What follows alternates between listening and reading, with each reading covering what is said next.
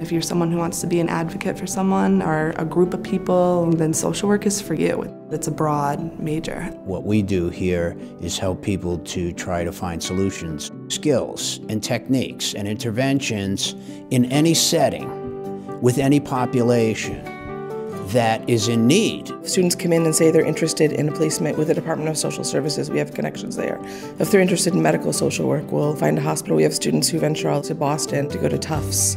We have students who've gone to the court system in Brockton because it was closer to their home. From school adjustment counselors to working in jails to working in addiction treatment centers to working in places like the district attorney's office. Wherever we can put students to help them find their voice and give a voice to others, we'll, we'll commit to doing that. We prepare them to go into those jobs with experience, really ready to deal with the things they'll see. This year, my placement is at Tantasqua Middle School. I work in the guidance department, which has been tremendous. I've absolutely loved it. It's actually helped me realize that I, I kind of want to go into a school setting. Really learn how to hone in on where and what is it that I want to do with my career. We're all so comfortable with each other and that just makes for a better classroom. We share our experiences in field and give them an idea of what it's going to be like for them. The degree coupled with the licensure will open doors that students are looking for to be opened when it comes to jobs. I feel extremely prepared to